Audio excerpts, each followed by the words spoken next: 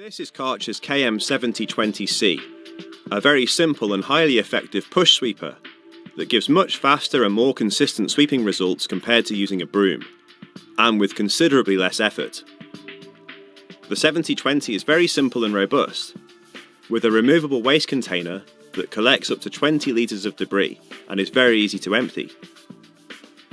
The machine features a main roller brush and a side brush to sweep up against curbs and edges, as there's no motor, it's very quiet to use and does a great job of suppressing dust. The side brush height can be infinitely adjusted to suit different sweeping jobs and can be folded completely out of the way.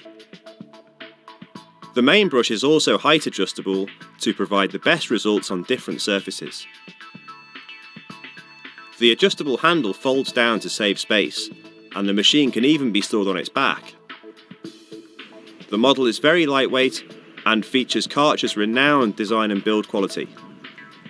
The KM7020C push sweeper. Faster, easier, safer and more thorough than sweeping with a broom.